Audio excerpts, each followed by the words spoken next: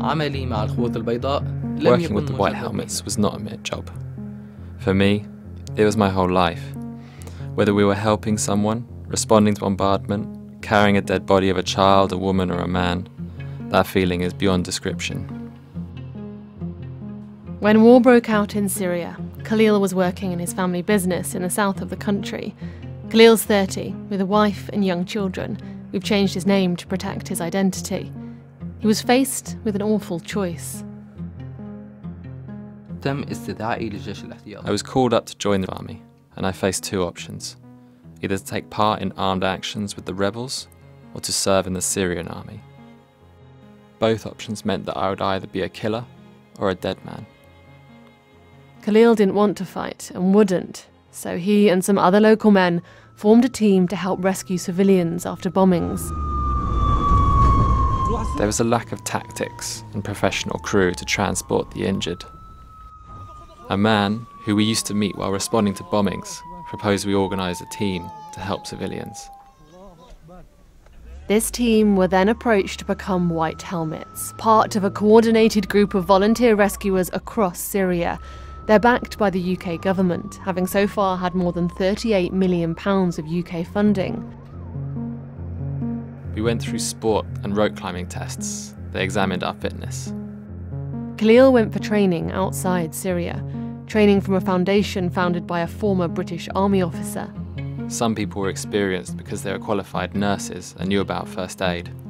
Others were defectors from the fire brigade. Those who passed the test were then registered. He was trained in search and rescue, in fire extinguishing, in life saving, in how to drive an ambulance, all in around four weeks. Often, when we were transporting an injured woman, man, or child, they would start praying, kissing us, and thanking us.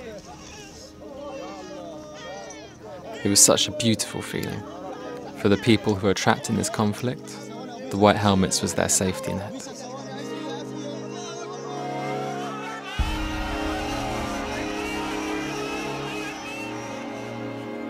Khalil was a white helmet in Syria for three and a half years.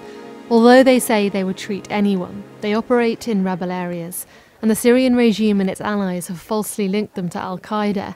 They became targets for the Syrian regime, and eventually Khalil and his family had to be evacuated from Syria, along with 400 other white helmets and their family members. How hard has it been leaving that behind? كان جدا صعب بالنسبة It لي was so hard for me.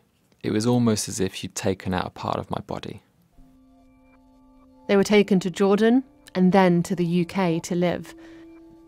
Do you remember when you first arrived? I was shocked that after being threatened by death or arrest, I was now in a safe country. Here, there is freedom, democracy, peace. A multitude of all different religions side by side, and many other things that I'd been living without. So I was happy that I'd arrived in the United Kingdom.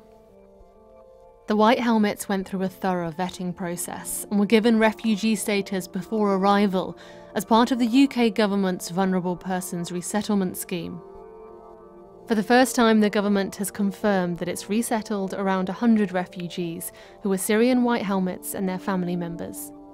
What do you hope for the white helmets who have found a new life here? And I would hope that they will play a full part in their communities here, that they will find safety, that they will learn English, that they will move into employment, and they will find security, safety, and stability not only for themselves but for their families. Many of them brought children with them, and I think it's about providing them with safety and the safe haven that the UK can be.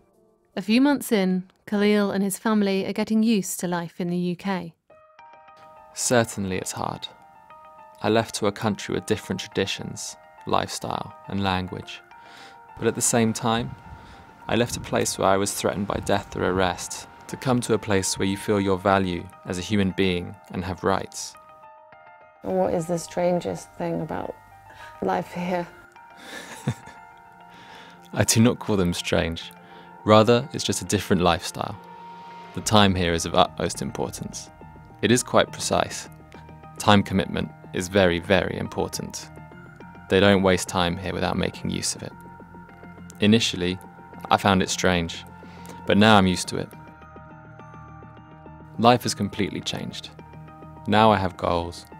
Firstly, to take care of my children and their future, and I'm working hard on learning the language here. I also want to return the favour to the United Kingdom and its people, who supported us while I was still in Syria.